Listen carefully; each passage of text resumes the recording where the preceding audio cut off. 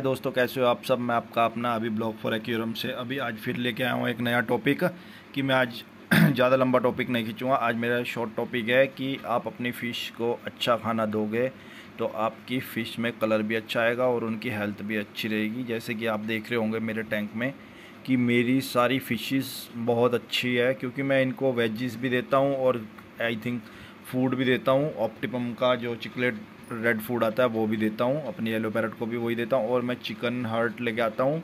इनको मैं वीक में थ्री डेज़ चिकन हर्ट देता हूँ। ये सब अब फ़ूड के लिए देख रही है। देखो, मैं वीडियो बना रहा हूँ। ये सब फ़ूड का इंतज़ार कर रही है कि मैं लाइट जलाई अपने एक्वेरियम की तो फ़ूड डालूँगा और आप अपने एक्वेरियम की मुश्किल से एक दो घंटे लाइट जलाया करो, उससे ज़्यादा नहीं जलाया करो, क्योंकि इनको भी सेपरेट रहना पसंद होता है। और अंधेरे में रहना पसंद होता है तो जिस टाइम आप फीडिंग कराओ या कोई आपके घर में आ गया तो उसी टाइम अपने टैंक की लाइट जलाओ। आज का टॉपिक यही था। चलो दोस्तों, इस